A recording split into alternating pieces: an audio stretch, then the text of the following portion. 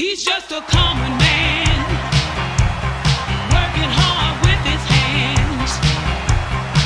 He's just a common man, working hard for man. Hey, he's a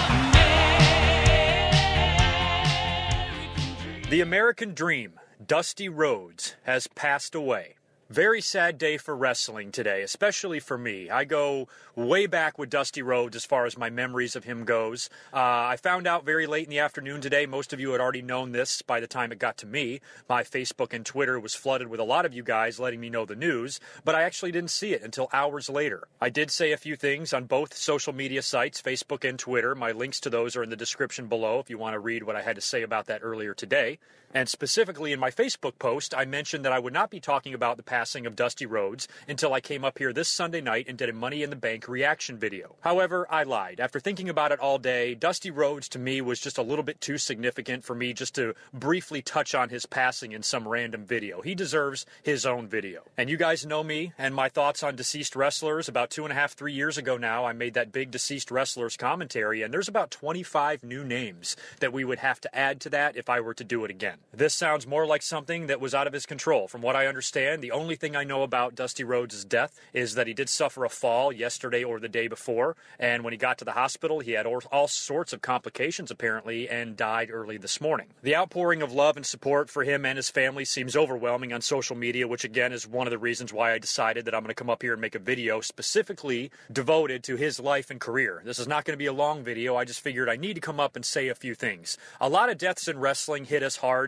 individually, depending on what kind of wrestling fan you are, how long you've been watching wrestling, and any sort of personal or significant bond you had with the person that passed away. I've had a lot of deaths that hit me very, very hard, a lot harder than other ones have. For example, someone like Owen Hart. A lot of you know my love and respect for the Hart family, especially Bret Hart. And basically, that whole clan up there, Calgary, was my favorite area of professional wrestling, you know, as far as the territories go. Macho Man Randy Savage was another one because he was just such a huge, giant chunk of my young life. And to see that die, it really does hit you hard. And with Dusty Rhodes, for me, I credit Dusty Rhodes with my very first ever memory of professional wrestling, the very first conscious memory that I have of pro wrestling. And I've told this story before in one of my Q&As. As a matter of fact, if you look at the screen, I will put the link to that Q&A on the screen, and if you click it, it will take you directly to the part of the video in which I talk about this. So if you want to hear what I had to say about these matches a couple of years ago, just click the link, it'll take you right over to that. But my very first memory of wrestling was looking at pictures in a magazine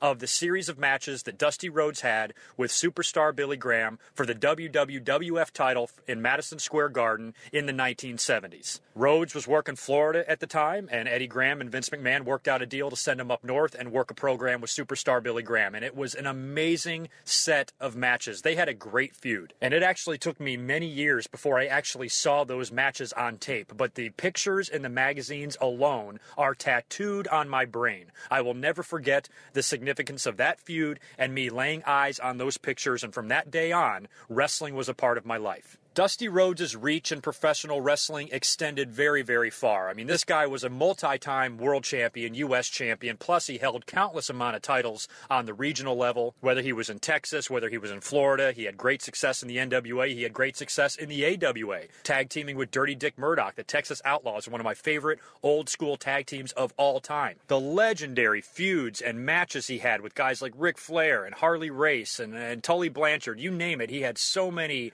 great moments in wrestling and achieved so much, and then went on to be a booker, a trainer, a mentor to so many people, including all of the young men and women that are currently in NXT right now. And even though he left us way too soon, I'm really thankful that those some of those young kids in WWE's developmental system were able to benefit from the knowledge and experience that a guy like Dusty Rhodes can give. Like I said, it's just an extremely sad day. The Rhodes family is amazing. Dustin, I've always thought was a supreme talent. Same goes for Cody Rhodes. I've always said since Cody came into the company that he should at least be given opportunities or be in world title programs because I do believe he is that good. Not to mention his legacy and his family name ain't too shabby either. So I was always really hopeful that Cody Rhodes would achieve great heights in the WWE. Maybe he will now. I don't know what the future will hold for the Stardust character. I don't know what the WWE is going to do as far as the Money in the Bank pay per view this Sunday or Monday Night Raw, any sort of tribute that they might do for Dusty. I'm sure they will do something. I don't know if maybe Cody Rhodes will abandon the Stardust gimmick, maybe just for a little while. Maybe him and Dustin can reunite as a tag team, just under their names, Cody and Dustin Rhodes, and maybe have one more nostalgic run with the tag team titles, maybe a short one just to tribute to their father. So it remains to be seen still how the WWE handles this on TV. I'm sure they will be nothing but classy about the whole situation. Dusty Rhodes was so widely loved by a lot of people in that company right now because he worked as a trainer down in NXT. The love that I've seen so far today just really seems overwhelming, and I uh, my thoughts go out to Cody and Dustin and the entire uh, Rhodes family, his wife, everybody. I don't think I was ready to lose somebody as big as Dusty Rhodes because of what he meant to me. You know, we everybody affects us different ways. You know, some of you were very, very affected deeply by Eddie Guerrero's death, and some others. You know, Dusty is one of those that hits me like that because I have so many great memories of him. I watched everything. I watched AWA growing up. I watched NWA. I watched WWF, and seeing Dusty Rhodes on television in some form of capacity for about 30 years was pretty memorable for someone like me, and I just can't say enough good things about him. Very underrated as a booker as well. Uh, Dusty Rhodes has his critics. We've all kind of joked about Dusty Rhodes' finishes and things like that. And yes, he could be that way, but at the end of the day, he had an unbelievable amount of creativity. And it was creativity that stayed within the confines of professional wrestling because the guy had such a history in wrestling and had been down the road and done so much as a professional wrestler for him to take over in a booking and writing and storyline capacity. You know, to me, I always supported Dusty Rhodes and his decisions. It wasn't like a Vince Russo who had all these wacky ideas but never stepped one foot in the ring. Dusty Rhodes, yes, he had some crazy ideas from time to time, but this is coming from somebody that's actually been in the wrestling business and he thought that it would work, and a lot of his stuff did. Shockmaster and Robocop excluded, of course, but I've always been a fan uh, of Dusty Rhodes' creativity, and I think he deserves a lot more credit than he gets for what he's able to accomplish, you know, in a behind the scenes capacity. He came back to the WWE around what, 2005 or so? He had worked for TNA, eh, kind of in the same role behind the scenes, and then came into WWE and now has been working in NXT,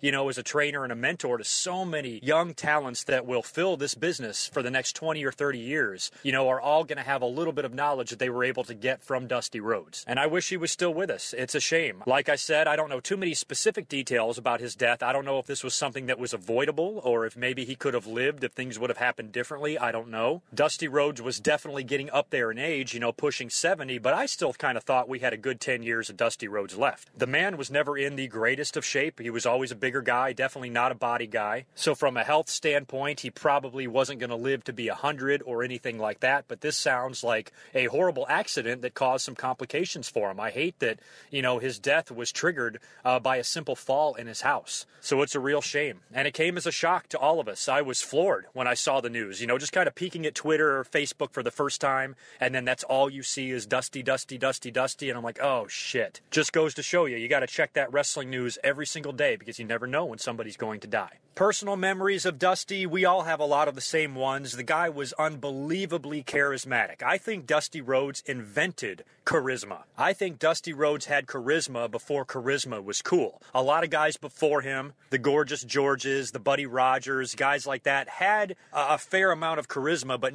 nobody had ever seen anything like Dusty Rhodes. He was amazing on the mic, very believable on the mic, and also very amazing and very believable inside the ring as well. For a guy that looked like he did, and to not be really in the greatest of shape, he could go out there and wrestle an hour like it was nothing. I love old school wrestling so much, and going back and watching old footage of Dusty from the 70s and 80s, I will never get tired of doing that. I have VHS tapes that are literally onion skin thin because I have worn them out watching so much of his shit. Thank God we have the technology now where you can put this shit on DVDs and upload it to hard drives and stuff. Otherwise, I would have completely worn these tapes out. I remember specifically around 1998 or 1999, I actually uh, tape traded uh, for like a 12 hour best of Dusty Rhodes video. That's kind of how you had to do things back then. It just had all of his promos and all of his great matches and title victories and everything on there. And I just remember watching that over and over so many times years ago and how awesome I always thought Dusty Rhodes was. I have tons of memories of this guy. Most of the stuff that I remember about Dusty the most fondly came from his NWA days. I loved it when he was world champion, feuding with Harley Race and Ric Flair and guys like that.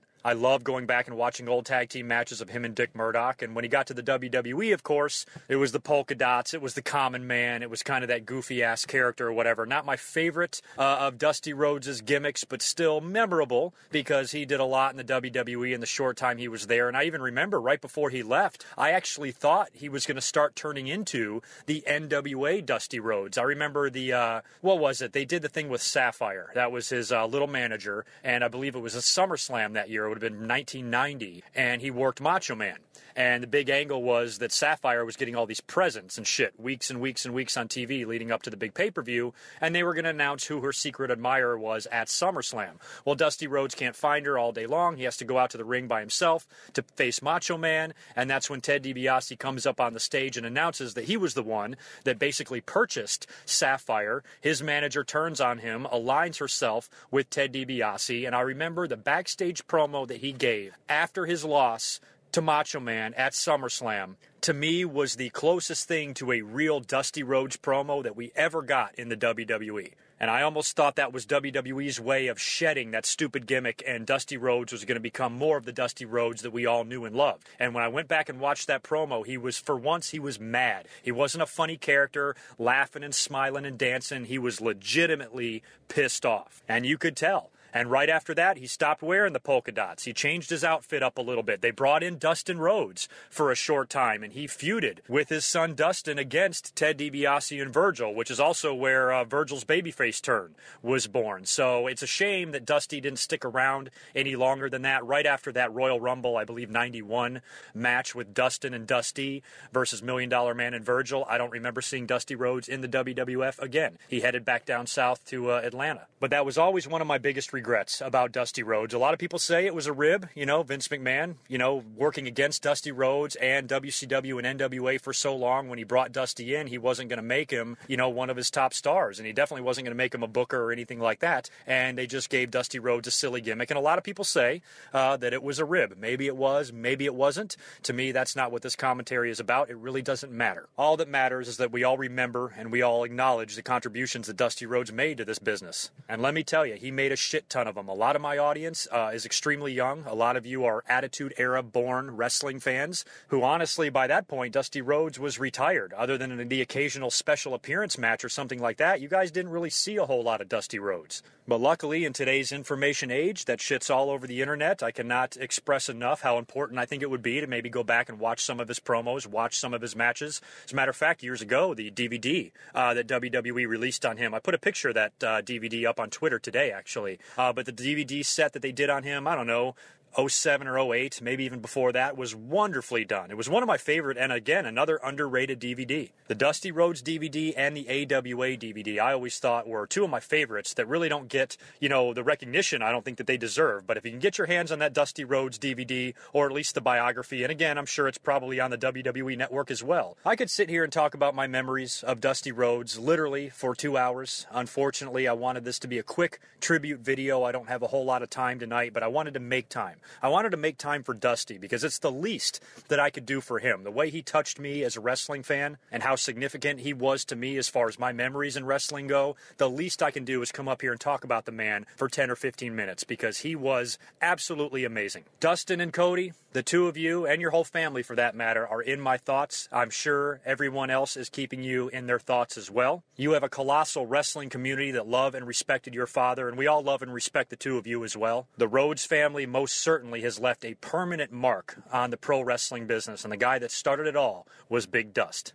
So, with that being said, scroll below into the comments section. Leave me your favorite Dusty Rhodes memories if you have any. What was your favorite match of his? What was your favorite promo of his? You want to throw a link down there? Go ahead. And for those of you out there that are very, very, very young, uh, like I said, that might not have any memories of Dusty Rhodes, make some memories. Look him up. Do some research on the man. Watch what wrestling used to be like. Watch how good he was on the mic and how charismatic. There was no one like him. So, from the bottom of my heart, I just want to say thank you to Dusty Rhodes for the endless memories that he has given me as a wrestling fan. And if you gave other fans out there even a fraction of the memories that you gave me, they are extremely, extremely lucky. Dusty Rhodes, we all love you. We will all miss you.